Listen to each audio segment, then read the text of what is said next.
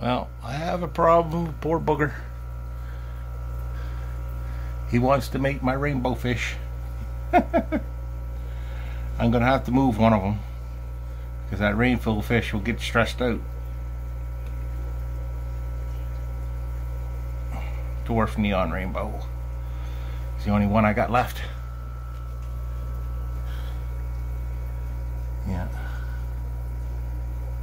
Stupid goldfishies. They'll try to mate anything.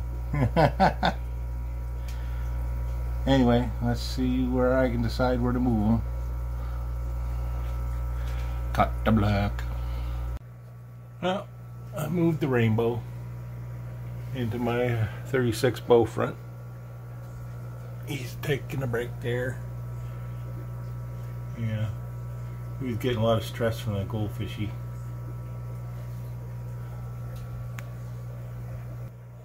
There we go. He released in the tank. He won't get uh, harassed by a malfunctioning goldfish. nah, baby goldfish are just crazy. Yeah, goldfish are just crazy, period. oh, Molly's checking him out.